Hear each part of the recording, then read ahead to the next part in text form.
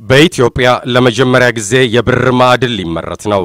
የማዕድን ሚኒስቴርና የእንግሊዙ ኬፊ ሚኔራልስ ኢትዮጵያ የተሰኘው ኩባንያ በወርቅና ብር ማዕድን ምርት ስምምነት ተፈራረሙ።